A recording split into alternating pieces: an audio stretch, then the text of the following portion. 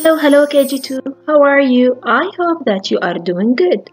Today we are going to talk about modes of transportation. The different modes of transportation can be divided into three main categories. Land transportation, air transportation, and water transportation. As you see here, we can travel on the land using a car, bus, or a train. Also, we can travel in the air using helicopter or airplane. Also, we can travel in the water using ship or boat.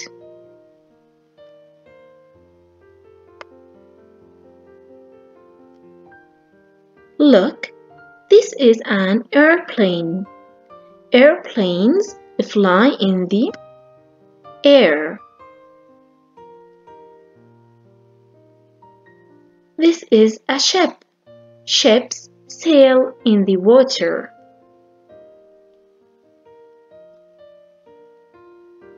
This is a bus. Buses move on the road. Now we will talk about road safety. Look at the picture. We have to cross the road at the zebra crossing. Walk on the pavement. Don't play at the road. Also, don't put your hand out of the moving bus. Here we have two pictures. Where can I play? Mm-hmm, correct. I can play in the garden. I can't play on the road. What can I play with? Yes, very good. I can play with my toys. I can't play with fire.